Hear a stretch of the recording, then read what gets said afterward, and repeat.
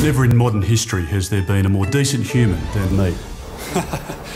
There will be many debates that uh, you know I can show the complete character of who I am, and I want people to make judgments uh, on what they see. I might look like a talking potato, but uh, I'm as human and as frail as uh, anybody else, and I, I just don't think it's a fair comparison. Potato is for eating, and clearly.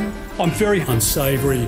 It's a very unsophisticated attack. Can I acknowledge I, I didn't want to be bald? Uh, it's just I don't want to spend any money on the hairdresser. I might point out, uh, my wife actually says that uh, my shiny chrome dome is the sexiest thing about me. The, the name calling and the, the bully boy stuff causes me much pain and sadness.